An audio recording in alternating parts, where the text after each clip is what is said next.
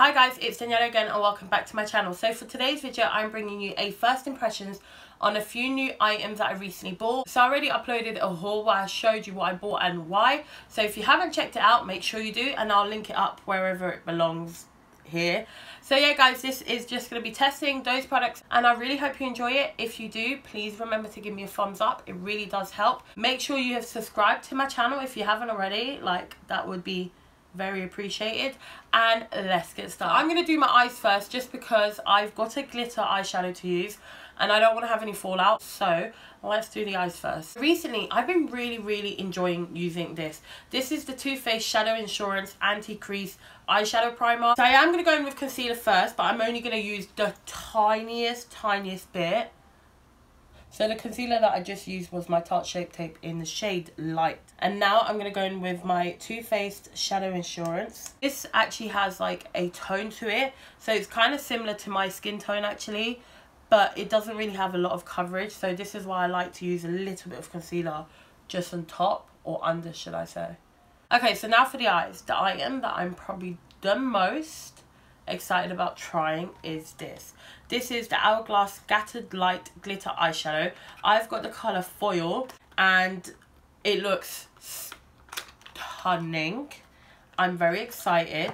Um, this is hella expensive, hella bougie.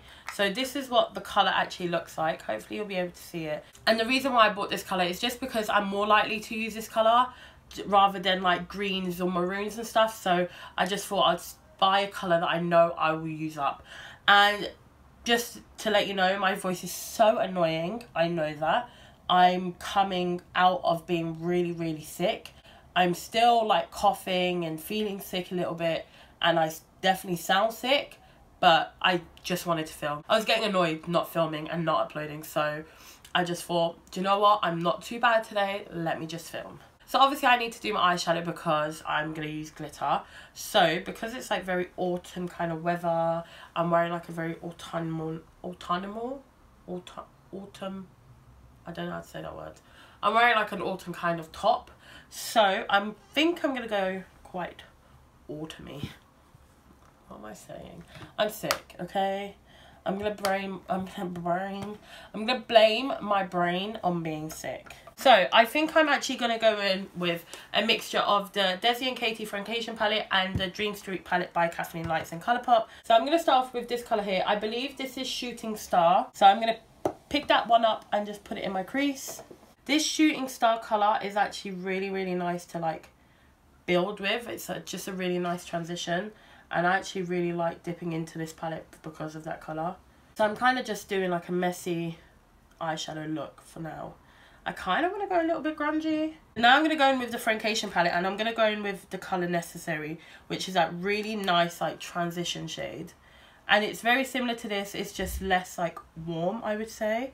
Just by adding that colour here, I'm creating a little bit more depth. I'm just going to go back in with Shooting Star and just blend out the edges a little bit. I don't know if you'll be able to see, but I went in with this colour here, which is necessary. And now I'm going with Churro here. And Churro is such a lovely, warm shade. It's a delicious shade. So I'm just going to go in with that colour. And I'm just going to take this into my crease. I'm literally just building up this colour very slowly because this palette is extremely pigmented. So now I'm going to go in with the colour Cheens, which is the darker brown in this palette here. So this one here. So I'm going to take this colour and take it on a small denser brush and just kind of work this into the outer V but really slowly because this will go dark real soon real quick. And obviously once I have the glitter I can also go back and intensify a little bit more if I want to. Now with a clean brush I'll just go over the edges and then I'm going to go back in with the colour Shooting Star from the Dream Street palette. So I'm just going over the edges just to make sure that colour's still there. So now I'm going back in with the colour Churro just to make sure that's still there as well. Just so it's not like all light and then dark. Just so there's some variation of colour. So I actually like how this eye look is coming out and I want to leave it like this for now. I want to go in with that hourglass glitter eyeshadow. I'm gonna use my fingers first and let's see how it works with just my fingers. Oh feels really good. Bitch. I was expecting it to be pigmented, but that's got like full on dimension. Oh, wow. Not as much fallout as I expected, to be honest. Like, I thought there was going to be a ton of fallout. This looks so good. Now with a flat brush, I'm just going to pick some up and just take it into the corner that I couldn't reach with my finger. Oh my god. I don't know if you can tell, but it's so pretty. My lids literally look wet. Like, what? Now I'm just going to go in with the colour Cheese just to blend out the edges a little bit. Wow, wow, wow, wow. That colour looks stunning. Thanks so much, Samantha. She recommended this, so I'm so happy I got it. Honestly, our Hourglass just effing kills it. This looks so nice. Wow, wow, wow, wow, wow, wow. I really like it. So now that I've done this eye, I'm going to go off camera, do this eye, and then I'll come back and do mascara review because I have a new mascara to test. I just want to mention that this glitter eyeshadow, you need the tiniest bit to make an impact. Like, literally a tap and you'll make a massive impact. So I feel like, yes, this was £26, but I don't know if I'll use this up. Like, it's so, so, like, just intense that obviously I will use it up, but, like, I don't know if I'll get through it really quickly. Okay, so now for mascara, I'm going to use the Benefit Bad Girl Bang. This is what the brush looks like. So, let's try this on. So this is an extremely wet formula, but it separates your lashes so well. I don't know if it's doing anything for length or like a lot for volume, but my lashes look very, very like evenly coated and separated. I'm really surprised. I didn't expect it to be like this. So far, I do actually like it. Obviously, I need to wear it and see if it flakes and stuff. I feel like with this mascara, if I was to build up any more, it could get clumpy really quickly. But I'm going to let this dry and then I might come back and build it up a little bit more. But so far, I'm not mad. Okay, so now for primer, I'm going to go in with the Milk Hydro Grip Primer. Okay, so this is what the packaging looks like. I'm so excited to try this. So I'm meant to put this on and leave it on for a minute to like let it sink into my skin. So I'm just going to go in with one pump. Smells like herbally. It's not like really thick. It definitely like dries down. Okay, it's getting like tacky. Okay, so for foundation, I've got a few like sachets and samples to try. So I'm going to just try on today and see how they are. So I'm going to actually go in with the Too Faced Born This Way foundation. I got the colour Vanilla. I don't know if this is my colour or not. So I'm going to put this. Oh, wow. Very liquidy. Oh, my God. I did not expect it to be that liquidy. I was not meant to put it on my face yet. Wow, this is super liquidy. I don't know if I've just put in too much or not. I'm just going to blend this out with a beauty blender. The colours seems alright actually. So this is the foundation so far. So it says that it's medium to full coverage, like it's a buildable foundation. Which I would say, yes, it is like a buildable foundation. I did build up more coverage on my cheeks, but it's still not like mask full coverage look. I would say that this has got more of like a satin finish.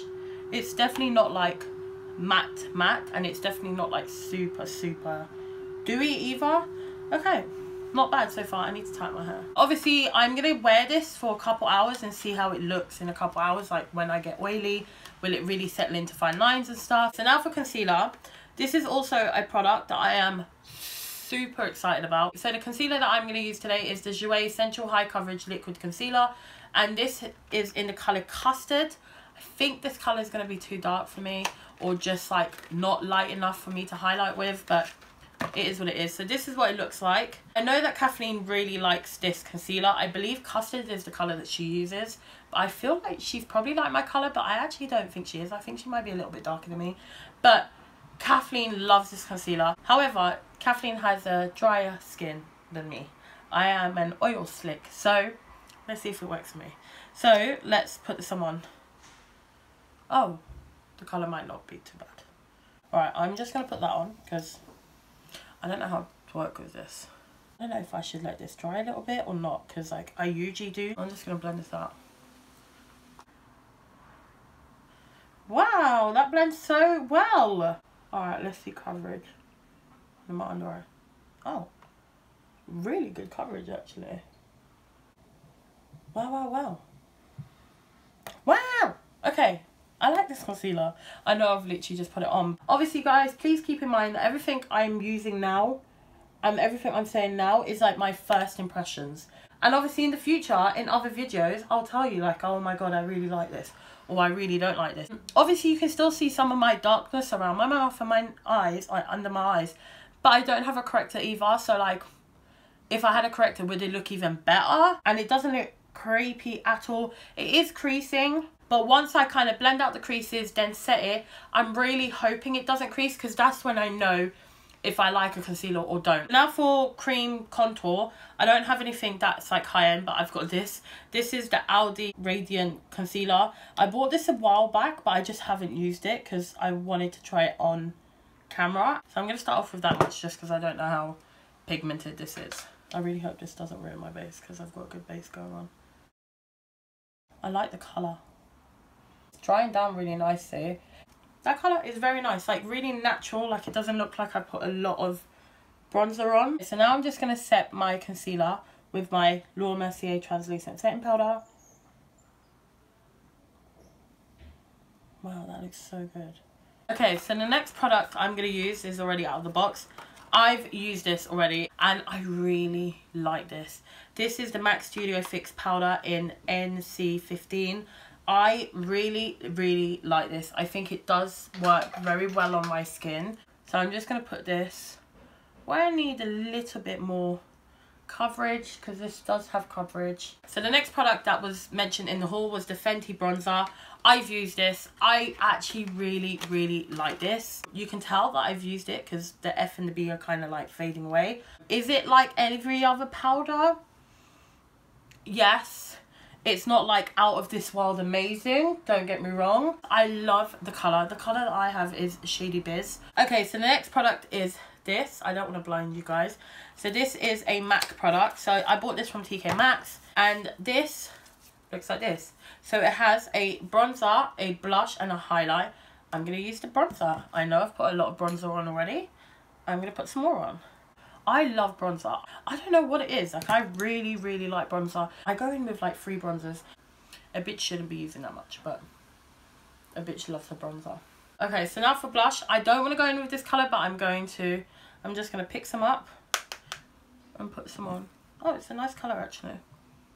I like this so far. Like, it's not dusty at all, and it's got, like, a really nice sheen as well. Mmm. A little bit of bronzer on the nose. Act like you've been out in the cold and you got a cold nose. Okay.